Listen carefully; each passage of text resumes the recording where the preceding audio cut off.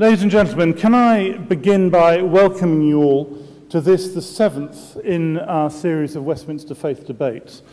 My name is Charles Clarke. I have many manifestations in my life. The current one is visiting professor of politics and faith at the University at Lancaster, in which capacity I've worked with Linda Woodhead, who I'll introduce in a moment.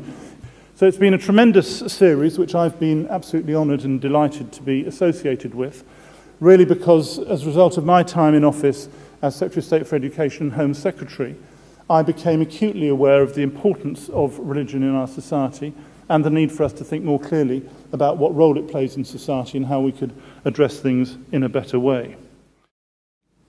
But the first time I really thought that this might work was when we organised a question time event at Lancaster University just over a year ago now, and it was on the theme of politics and religion. And in the first half, I asked questions about politics, and it was absolutely fine. But in the second half, we had questions about religion, and the audience just came alive at that point. And I thought, hmm, maybe it'll be okay. So we decided to go for it. We set up a full series of seven serious debates about religion. I actually knew we had to stop at seven because I would run out of outfits by then. I have had returned to my, my first one here. I'm going to start things off by asking the first question. And actually, it's a question for all three of our guests. It goes first to Charles Moore. Those of you who've been in our previous debates will know that some of the speakers, I'm thinking, for example, of Bishop Michael Nazir Ali, believe that religion has been pushed out of public life, marginalised, even persecuted.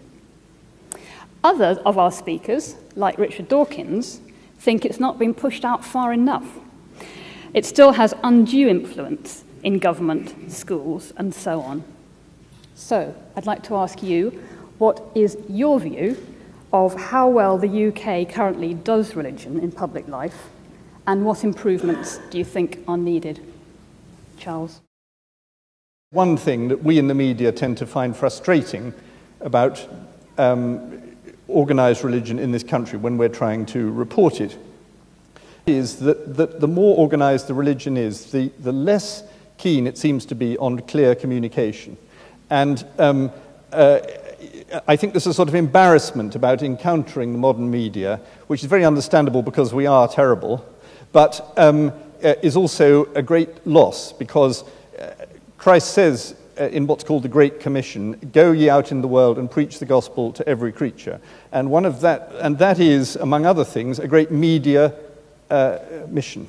And so it was from the beginning, and you could say that the four Gospels are, among other things, uh, marvelous pieces of extended journalism. I'm still trying to work out what particular media outlets would be sympathetic to the four Gospels at the moment, but that's perhaps a rather longer question. Um, I want to come at it from a slightly different angle, which you touched on, Charles, in your last remarks, speaking very much from the point of view of the Church of England. I think the position of religion in public life is not obviously just a matter of column inches or whatever. I think it's very much how it works on the ground in localities. That's where I, I start thinking about it. Last weekend, I spent in, in Gloucestershire on a pastoral visit to the diocese, and on Sunday morning was in Coleford. Some of you will be aware that the appalling killing last week by a father of his three children was a Coleford family. So I had the opportunity of seeing on the ground what the church was actually capable of doing in a deeply traumatized community. It remains true in ways that are, I think, very surprising to some who only come at this at second hand. It remains true that the church is where people want to put a lot of their emotion, a lot of their otherwise unmanaged feeling and suffering. It struck me a lot in the last couple of years how very, how very many faith related or faith based development agencies there are, not at all exclusively directing their attention to members of their own faith, but able in many circumstances to work very effectively together because they have the grassroots access. And I believe that's something we ought to be working to promote and deepen myself. I think the way I would look at this question is this. For, for, for some people, they feel that religion should be shoved out of the public debate altogether.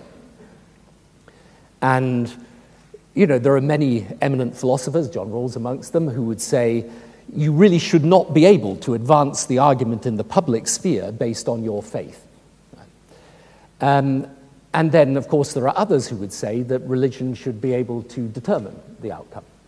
Now, as it's perhaps a rather a parody to talk about it as a third way, but I would be.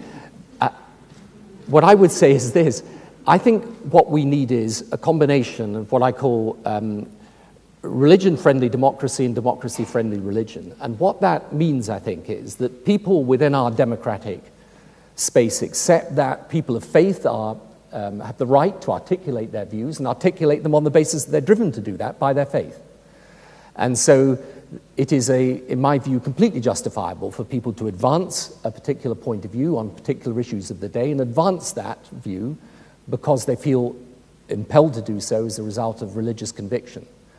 On the other hand, I think it is in the essence of democracy that it is pluralistic, um, that those people who advance that view, even though they do so from deep rooted religious conviction, have to accept that the views of others, including non religious people, are equally valid. And we have all to accept that there is a common space um, and in that common space, we agree that we ultimately decide this through the proper processes of the law. Uh, it's Parliament and the, the courts. The, one of the reasons why I think this is so important is that out there in the rest of the world, particularly in, in the Middle East, where I, I spend a lot of my time, um, they are now moving towards democratic systems, which is great and valuable and long overdue. On the other hand, it is very important because of the power of religion in these societies that we do articulate what the right relationship is between religious faith and democracy so that people feel that their faith is safeguarded and allowed to play its part, but also that they understand that there is, in the end, something essentially pluralistic about the concept of democracy, which means that religion should have its proper place, but in the end, the processes of democracy must be supreme in the ultimate decision making. Well, thank you very much. Of course, um, you spoke of Parliament and the courts, and I expect most people here would, would say that you're right that Parliament and the courts should decide matters in, in the public sphere. But one of the problems that believers have uh, now is that Parliament and the courts have passed a lot more things that are highly hostile to what they believe. And this isn't only in particular subjects, it's actually systematic because it's to do with the idea of universal human rights as, as interpreted by essentially secular judges. I see the extent to which people of faith feel victimized or marginalized. I'm not sure they always see it clearly. I think that a few extremely difficult areas and a few extremely hard cases have created a, a slightly um, highly colored view of, of where we are. I think the challenge is to reconnect the discourse of human rights with some of its own religious roots, because I'd say boldly there wouldn't be a discourse of human rights unless there had been a theology, because the notion that human beings have innate dignities, all human beings have innate dignities, is, is not a self evident one. It's not one that just comes from secular sources as a matter of historical fact. I'm just a little wary of jumping too quickly into the victim posture here. Um, as a matter of fact, we have, as religious communities, we have access to the public sphere. As Tony has said, we can be visible and audible in public discourse.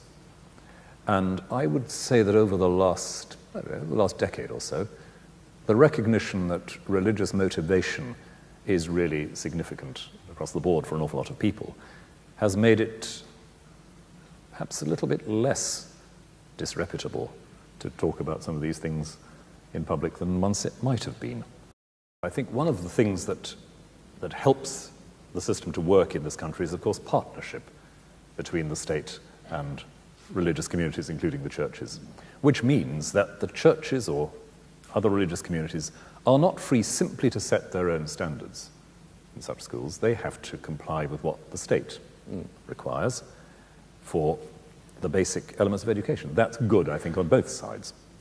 And so long as that partnership is there, it means that there is a sort of joint responsibility for standards.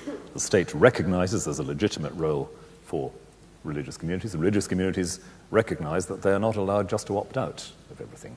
And that, that's a bit of a key, I think, to how it might work in other areas.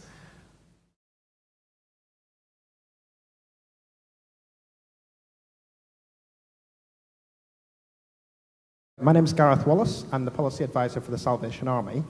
Um, just today, the churches have been speaking out about gambling and the government's uh, gambling legislation, which Mr. Blair's government passed. So I was wondering if he could reflect on how his faith influenced how that came about. I knew this would get tricky at some point in, the, these proceedings. Um, you know, my attitude on gambling is fits in exactly with what I've said. I mean, I didn't, frankly, agree with the Salvation Army's position on it uh, for reasons I gave at the time, which is that that people could gamble online. There's all sorts of ways they could gamble, and therefore I didn't think it wrong to prevent people um, setting up these casinos. And I still think, I'm afraid, that was the right position. With apologies to you for speaking my mind like that. Um, but you know, I think that's a classic example of what I'm saying. I, I, think that you, you should be absolutely right to stand out there and say, we believe this is a moral issue, we believe you're wrong to do it, as long as you understand that in the end, I, as Prime Minister, should take a decision on what I genuinely believe to be the interests of the country. Looking back to that um, notable afternoon in the Lords where I, I was one of the bishops who voted, I put my hand up on that because I did think, saving your presence, that the idea you could regenerate an impoverished area of Manchester by importing a super casino seemed to me utterly, utterly bizarre. Um, and, and I haven't changed. I haven't changed my mind, but, but it seems to me that the kind of argument we had on that occasion was one where it might well be quite important to say at some point, well, I'm saying this because of who I am, where I'm coming from. But the details of the argument have to be addressed in pragmatic as well as broad moral and ideological terms. And that's true, I think, over a, a range of issues. It's certainly the way in which a number of discussions about assisted dying have gone in the public sphere. In other words, I may come at it with a, a, strong set of religious convictions which actually dictate my view on this. If I have an argument about this in the public sphere, I can't expect somebody else to accept the authority of where I start from. And I have to be a bit bilingual, let's say, in, in that. One of the things that's very, very annoying about public policy today is that the people who make it don't understand that all these questions have been debated before. And, and religion has been debated, debating them for literally thousands of years and has developed a wisdom about it which is applicable to, to some extent to everybody. And so, in the question of gambling, it's very difficult to know exactly what law you should make or not make. But it is a very important point that gambling is a very dangerous activity for human beings. And my goodness, we're seeing that in the banking world today. Um, and if you have in your head this religious knowledge and religious tradition, it informs the debate so much better. I'm Rabbi Laura Janner-Klausner. I'm the rabbi to the Reform Movement. And uh, you talked about religion having looked at many issues for years and years. But the issue that seems that's not been risen, raised tonight is the issue of women clergy. So I'd love to know if there's something new that you've discovered recently in the debates. I think most of the arguments about women clergy at every level have, have been had in the last 20 years and more. And I wouldn't have expected a great deal new to emerge at the level of argument. What I think is emerging is a couple of things. One is certainly the last round that we've had of discussion in the Church of England. I think the bishops, have, myself included, have had to learn just how difficult it is for women to hear an all male body pronouncing on their future, even with the best will in the world, the bishops making the suggestions they did because they wanted it to happen, and yet somehow that communicated itself in, in a problematic way. Um, I still think myself that we, we had the right general idea, but that's not going to make much difference to those who heard it as offensive and problematic. And that's just a, you know, a general reminder that we are now in a church, as we're in a society, where we expect to hear from people and expect people to be able to say where, what they're feeling about issues as well as what they're thinking. and to be heard and taken seriously, and to get a, a fuller, more collaborative discussion. Um, my name's Paul. I'm from Brunel Psychology. Um, and I was just wondering, uh, it's, it's, a personal thing really about uh, reconciliation, not, not in the religious sense, but how, um, given all we know about uh, modernity, the modern life, the advances we've made in uh, science and technology, how you can reconcile this with uh, some central tenets of your religion, which I believe involve um, a lowly carpenter's son 2,000 years ago rising from the dead, and you know, a process which is physiologically impossible.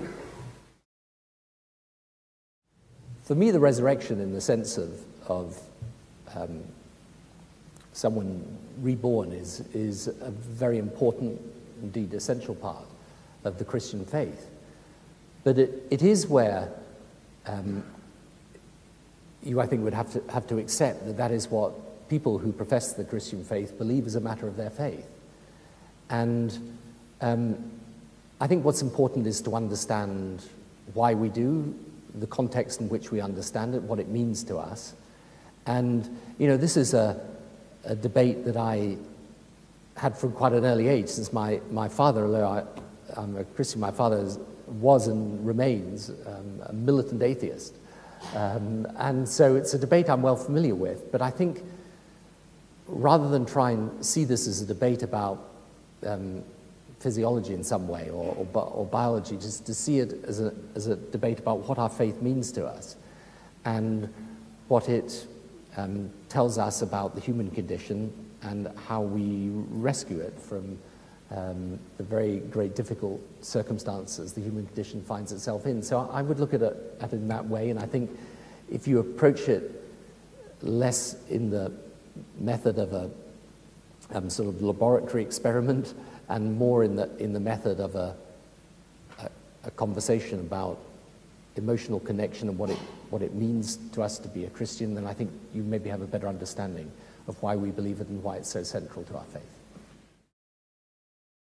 Jeremy Paxman scornfully asked you whether you prayed with George Bush. Um, but why would it have been wrong if you had? Wouldn't it have been a good thing? Or perhaps you did pray. Did you pray with him, in fact? It wouldn't have been. it wouldn't have been a, a wrong thing, it's just that it didn't happen.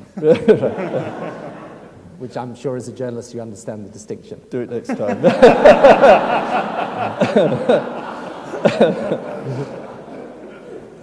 Touche. Um, the.